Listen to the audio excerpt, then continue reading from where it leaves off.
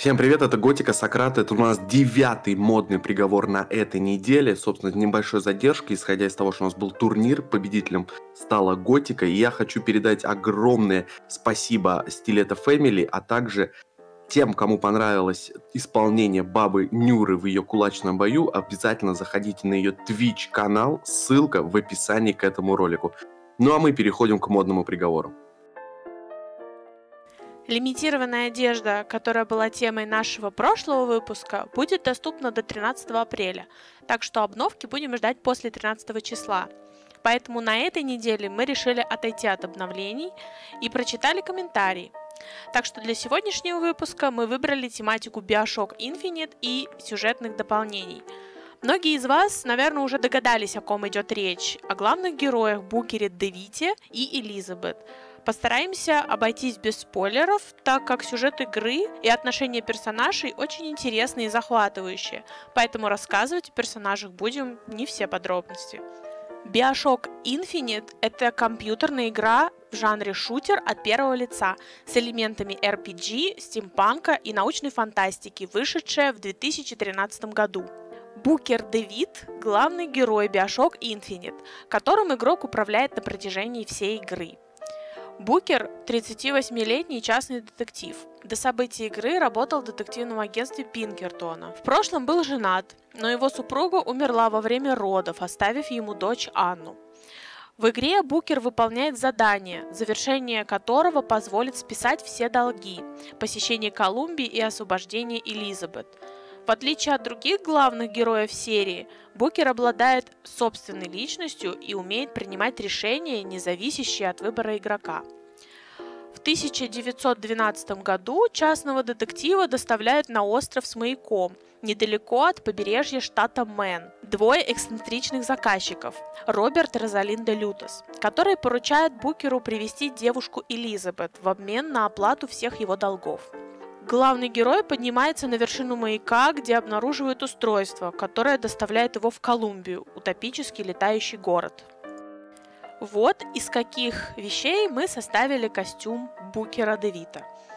Наиболее подходящий шейный платок, который мы смогли найти в игре, это шейный платок красного цвета стоимостью 18 долларов. Он полностью похож на платок Букера, за исключением того, что в Red Dead Online он автоматически убирается под жилет. В качестве брюк Девита мы выбрали городские штаны с манжетами стоимостью 22 доллара. Однако на момент выхода видео вы сможете купить их по скидке всего за 6 с лишним долларов. Мелочь, а приятно. Повседневная рубашка темно-синего цвета является превосходным выбором для данного косплея.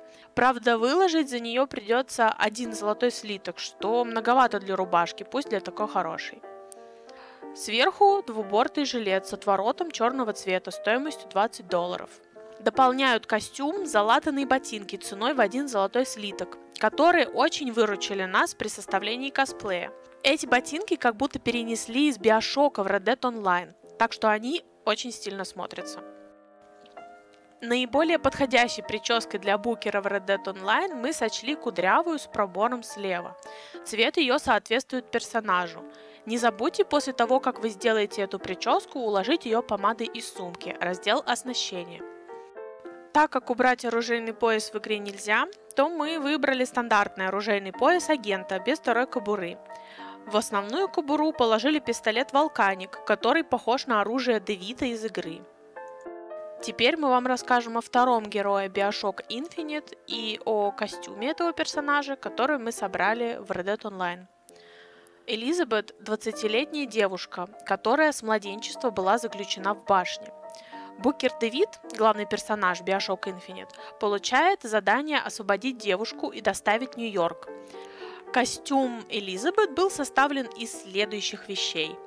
Основной составляющей для косплея на костюм Элизабет мы выбрали сшитый на заказ жакет светло-синего цвета стоимостью 86 долларов – Блузка с рукавами-крылышками белого цвета с черной отделкой по краям. На данный момент эта вещь продается со скидкой за 28,5 долларов. Без скидки она бы вам обошлась в 57,5 долларов. Корсет Isbel белого цвета стоит 192 доллара. Превосходно подчеркивает талию персонажа и соответствует костюму Элизабет в Биошоке. Длинная юбка Констанция синего цвета стоит 55 долларов. Хорошо сочетается с остальными вещами и соответствует общей идее и стилю костюма. Кожаные сапоги Ватонга черного цвета на небольшом каблуке можно приобрести за 43 доллара. Превосходно дополняют составленный нами образ.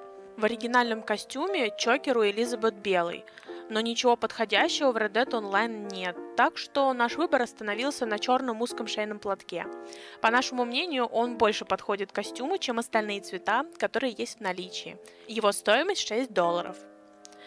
Опять же, из-за невозможности снять оружейный пояс, мы подобрали так, чтобы он как можно больше сливался с верхней частью костюма и был незаметен.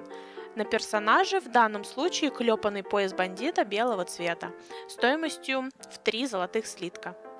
Надеюсь, некоторые сцены напомнили поклонникам Биошока о местах и сюжете игры. Тем, кто еще не играл, советуем пройти эту замечательную игру и ее дополнение. Сюжет не оставит вас равнодушным. Напоминаем вам, что в Red Dead Online на этой неделе скидки на все рубашки, штаны и перчатки, в том числе на позиции за золотые слитки, а также на перчатки от ролей охотника за головами и самогонщика, которые сейчас продаются у мадам Назар практически за бесценок. Всего вам хорошего и до встречи на следующей неделе. Ждем ваших комментариев на тему, какой косплей или костюм вы хотели бы увидеть в Red Dead Online в нашем исполнении.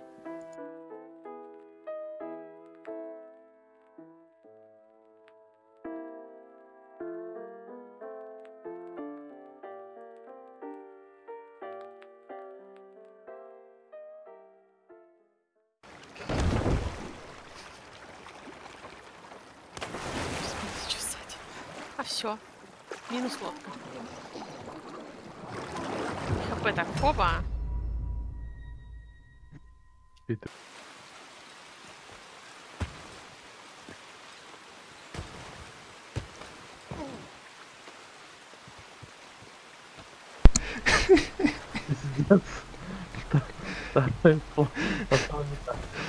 Ладно, первую часть тебе иду можно взять. Это что происходит? Блять. Ой, что это такое? Нас читер, видимо, взорвал. Ай, блядь. А так как мы что, не можем здесь умереть или можем? Да, весело. Ебать. Давай посмотрим, кто в этой сессии. Я не удивлюсь, если... А, зеватый резон. Угу. Ты ебанулся?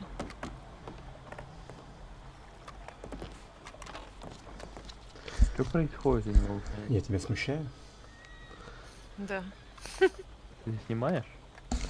А, не, вот, сел. И тут меня убили. Сука, какой-то пидорас из Ван Хорна выстрелил. Ясно, придурок какой-то. Ща я его. Сдану. Блять, ну-ка эти.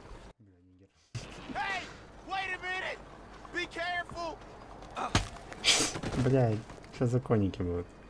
Около ТП вот здесь. Где завод. Бля. Сорян, зря быканул. Иди ко мне. Чика быстрее. Ты чё, охуел?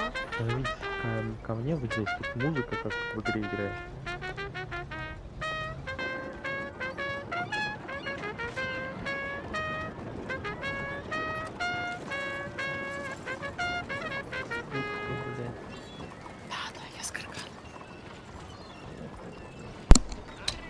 Пойдем Я дальше. с карканом.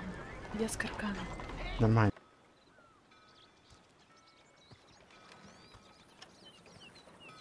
Пиздец, у меня вылет.